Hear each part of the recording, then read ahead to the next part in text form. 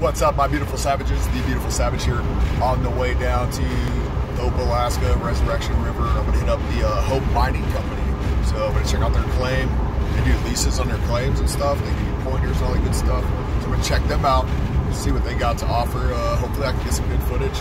We go down there. He's gonna orient me to the area.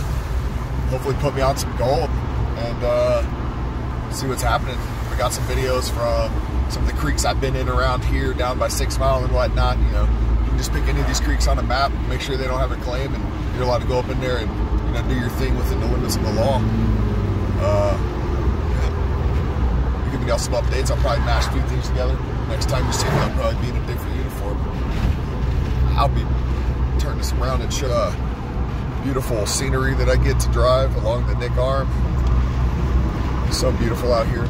And yes, I am uh, videotaping and driving. Thought I'd share with you guys.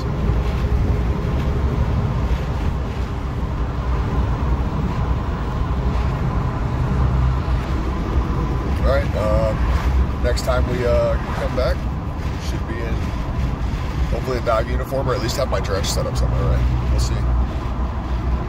Cool little spot out here in Hope on the uh, Hope Plain.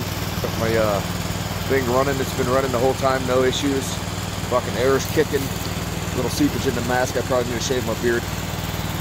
Beautiful out here. The river's really high and fast. He says it ain't gonna do nothing but go down from here. He says he ain't seen it this high in a long time. Nice little spot. Got the camper trailer. Well, I just hopped out the camper, eh? Uh, Casa del Gold Mine there with the whoopee. And uh, there's a nice, looks like a female moose just walking about. She was over there eating. I think I scared her off though. I'll say it gone. I hope it stays over there. It's okay, buddy. It's okay.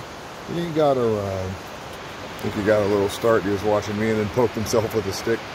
And he's chilling.